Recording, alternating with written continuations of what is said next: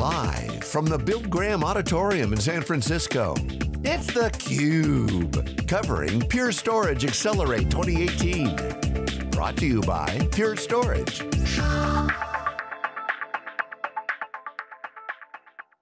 Welcome back to theCUBE. We are live at Pure Storage Accelerate 2018 in San Francisco. I'm Lisa Prince Martin with Dave the Who Vellante, and we're with David Hatfield, or Hat, the president of Pure Storage. Hat, welcome back to theCUBE. Thank you, Lisa, great to be here. Thanks for being here. The How orange fun is, is this? awesome. This is great. oh Super yeah. fun. Got to represent. We love the orange here. Always a good venue. Yeah. There's not enough orange. well, I'm not the Bill blind Graham, yet. I mean, it's a great venue, but not generally one for technology conferences. No, it's not. No, No, you guys are not conventional. So far, so good. But Thanks for as, keeping us out of Las Vegas for a change. as you Over my dead body, I think I've said once or twice before. Uh, Speaking of, love our customers in Vegas. of unconventional, Yes. you've said recently, this is not your father's storage company. Yeah. What do you mean by that? Well, we just always want to do things a little bit less conventional. We want to be modern, we want to do things differently, we want to create an environment where it's community, uh, so our customers and our partners, prospective customers can get a feel for what we mean by doing things a little bit more modern.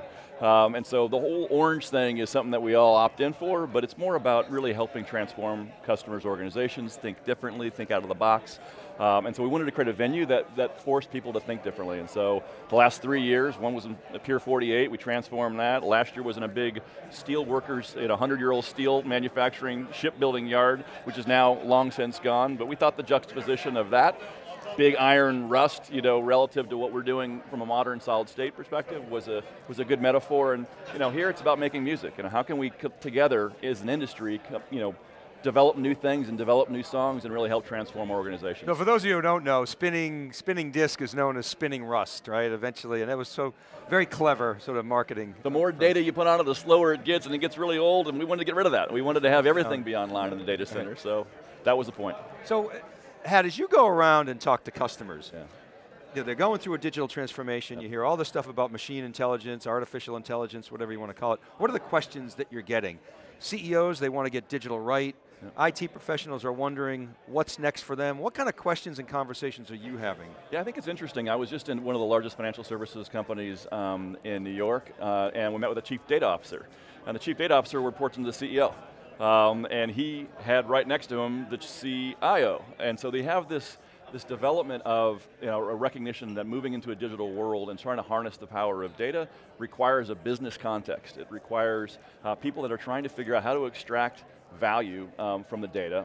Um, where does our data live? Um, but that's created a different organization. It drives DevOps. I mean, if you're going to go through digital transformation, you're going to try and get access to your data, you have to be a software development house. And that means you're going to use DevOps. And so what's happened uh, from our point of view over the last 10 years is that those folks have gone to the public cloud because IT wasn't really meeting the needs uh, of what DevOps uh, needed and what the data scientists were looking for. And so what we wanted to create uh, not only was a platform and a tool set that allowed them to bridge the gap, make things better today dramatically, but have a platform that gets you into the future, but also create a community and an ecosystem where um, people are aware of what's happening on the DevOps side and connect the dots between IT uh, and the data scientists. And so we see this exploding as companies digitize, uh, and we, somebody needs to be there to help kind of bridge the gap. So what's your point of view and advice to the that IT ops person who may be really good at provisioning LUNs? Yeah, yeah. Um, i- i- should they become more dev-like, maybe ops dev? Totally. I mean, I, I think there's a huge opportunity to kind of advance your career, and a lot of what Charlie talked about, and a lot of what we've been doing for nine years now, uh, coming up on nine years, is trying to make our customers heroes. And um, if you're going to, if data is a strategic asset, so much so they're actually going to think about putting on your balance sheet, and you're hiring chief data officers, who knows more about the data than the storage and infrastructure team?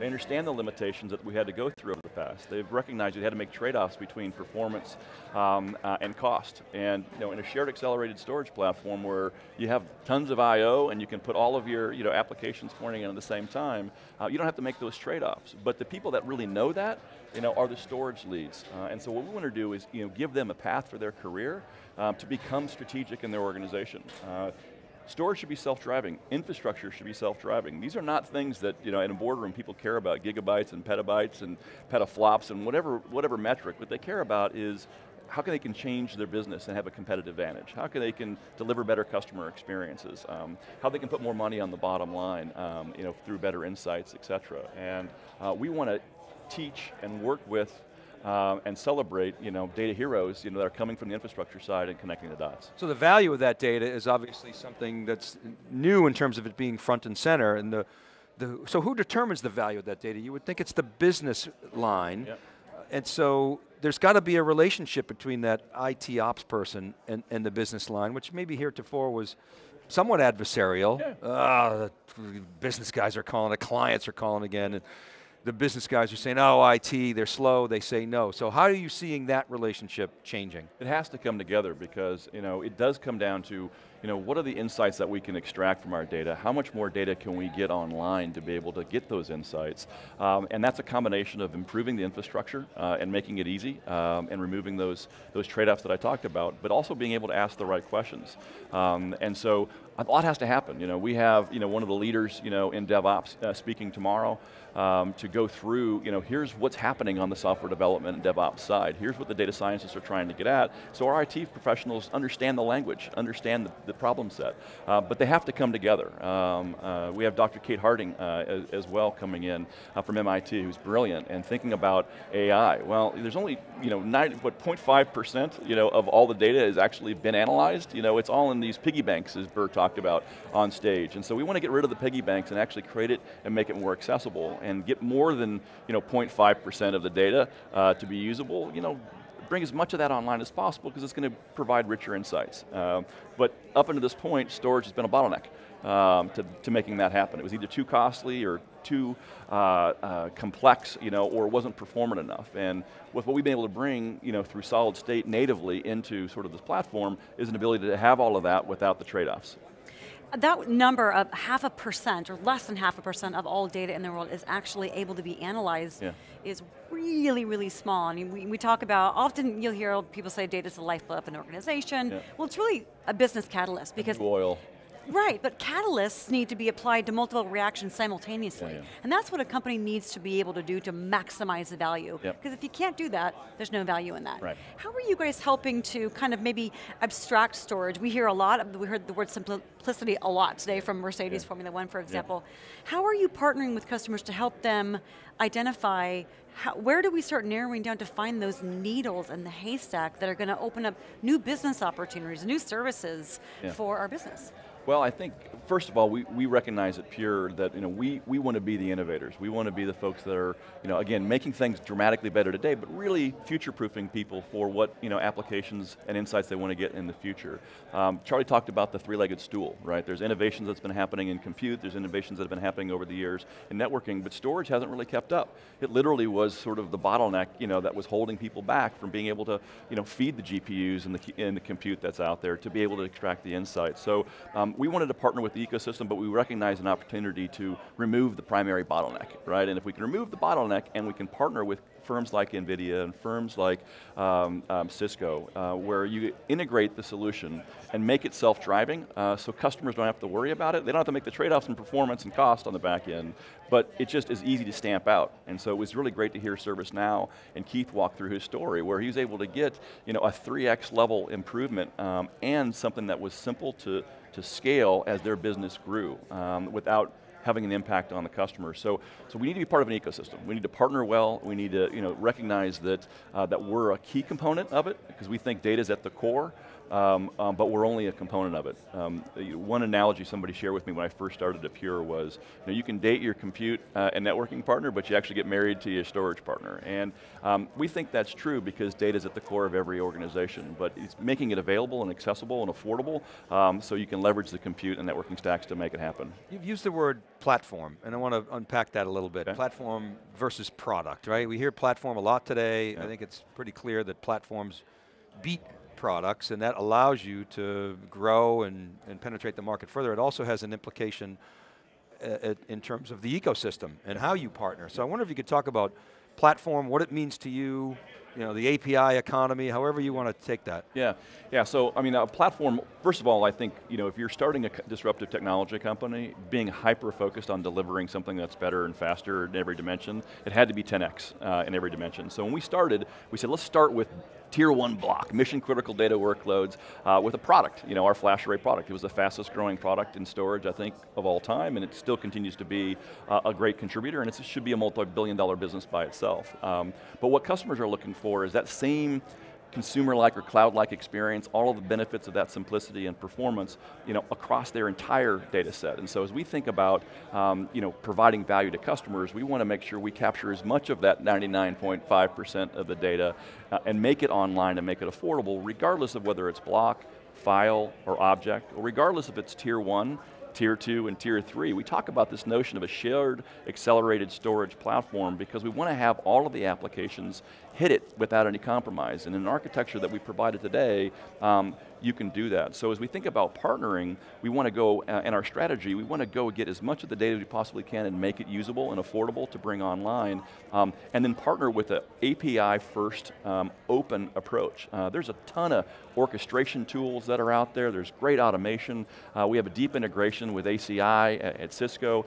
Um, whatever management and orchestration tools that our customer wants to use, we want to make those available. And so as you look at our FlashArray, FlashStack, AIRI, and FlashBlade technologies, all of them have an a API open first approach. Um, and so a lot of what we're talking about with our cloud integrations uh, is how do we actually leverage orchestration and how do we now allow and make it easy for customers to move data in and out of whatever clouds they may want to run from. Um, you know, one of the key premises to the business was with this exploding data growth and uh, whether it's 30, 40, or 50 zettabytes of data over the next you know, five years, uh, there's only two and a half or three zettabytes of internet connectivity in those same period of time which means that companies, you know, and there's not enough data platform or data resources to actually handle all of it. So the temporal nature of the data, where it's created, what a data center looks like, is going to be highly distributed. Um, and it's going to be multi-cloud. And so we wanted to provide an architecture and a platform that removed the trade-offs and the bottlenecks, while also being open and allowing um, customers to take advantage of Redshift and, you know, and all, you know, and Red Hat and all the different container, container technologies um, and platform as a service technologies that exist, uh, you know, that are completely changing the way we could access the data. So it, we're part of an ecosystem and it needs to be API and open first. So you had ServiceNow on stage today and they're obviously a platform company. Mm. I mean, anytime they do M&A, they, they bring that company into their platform, their applications that they build are all part of that, that, that platform. So should we think about Pure, if we think about Pure as a platform company, yeah. does that mean, I mean, one of your major competitors is consolidating its, its yep. portfolio. Should we think of you going forward as a platform company? In other words, you're not going to have a stovepipe set of, of products, or is that asking too much as you go get to your next level of milestone? Well, we think we're, we're largely there in many, in many respects. Um, you know, if you look at um, any of the competitive technologies that are out there, you know, they have a different operating system and a different customer experience for their block products, their file products, and their, uh, their object products, et cetera. So we wanted to have, you know, a shared system that had the similar attributes um, from, a, from, a, you know, from a storage perspective, um, and then provide a very consistent customer experience with our cloud-based Pure One platform. And so um, the combination of our systems, you hear Bill, Bill Cerreta talk about, you have to do different things you know, for different protocols to be able to get the efficiencies and the data services people want, but ultimately you need to abstract that into a customer experience that's seamless. And so our Pure One cloud-based software allows for a consistent experience. Um, the fact that you have a, you know, uh, you know, one application that's leveraging block and one application that's leveraging unstructured tool sets, you, you want to be able to have that be in a shared accelerated storage platform. That's why Gartner's talking about that, right? You know, is that now you can do it with the solid state world. So, um, so you know, it's super key, you know, to say, hey, look, we want one consistent customer experience, regardless of what data tier it used to be on or what protocol it is, uh, and we do that through our Pure One cloud-based platform. You guys have been pretty bullish for a long time now where competition is concerned. Mm. Uh, we, when we talk uh, about AWS, you know, Andy Jassy always talks about they look forward, they're not looking at Oracle and things like that. How, what's that like at Pure? You guys really kind of, you know, you've been also very bullish recently about NVMe. Yeah. Are you looking forward, uh, together with your partners and listening to the voice of the customer and versus looking at you know what's blue over the corner? uh, yeah, so first of all, we have a lot of respect for companies that get big. One of my uh, mentors told me one time that they got big because they did something well, uh, and so we have a lot of respect uh, for the ecosystem and companies that, that build to scale. We obviously want to be one of those and are already doing that. Um, but, I, but I think it's also important to, um, to to listen and to be part of the community. And so we've always wanted to be the pioneers. You know, we always wanted to be the innovators. We always wanted to challenge conventions. And one of the reasons why we founded the company, why Coz and Hayes founded the company uh, originally was because they saw that there was a there was a bottleneck and it was a media level bottleneck. And in order to remove that, you needed to write a file system that was purpose built um, for the new media, whatever it was going to be. We chose um, solid state because it was a $40 billion industry thanks to our consumer products and devices. So it was a cost curve where R&D was going to happen by you know, Samsung and Toshiba and Micron and all those guys, that we can ride that curve down allowing us to be able to get more and more of the data that's out there. And so we founded the company with the premise that you know, you, know, you need to remove that bottleneck and you can drive innovation that was 10x better in every dimension. Uh, but we also recognize in doing so um, that by putting an evergreen ownership model in place, um, it can fundamentally change the business model uh, that customers were really frustrated by over the last 25 years. It was fair because, you know, disk has lots of moving parts, it gets slower the more data you put on, et cetera, and so you pass those maintenance expenses and software onto customers. Um, but in a solid state world, you didn't need that, right? And so what we wanted to do was actually, in addition to provide innovation that was 10x better, we wanted to provide a business model uh, that was evergreen and cloud-like uh, in every dimension. Well, those two forces were very disruptive to the competitors. Um, um, and so it's very, very hard to take you know, a file system sort of um, that's 25 years old and retrofit it to be able to, to really get the full value uh, of what the stack can provide. So, so we focus on innovation, we focus on what the markets are doing, uh, and we focus on our customer requirements and where we anticipate the use cases to be. Um, and then, you know, we like to compete too. You know, we're, we're a company that, of folks that, that love to win, um, but ultimately the real focus here is on enabling our customers to be successful and innovating forward. And so less about looking on sidelines on who's blue and who's green, et cetera. But you said it before, uh, uh, when you were a startup, you, you had to be 10x better yeah. because those incumbents, even though it was an older operating system, people's processes were wired to that, so yeah. you had to give them a, an incentive to do that. Yeah. But you have been first in a number of things. I mean, Flash itself, the sort of all Flash at a spinning disk price.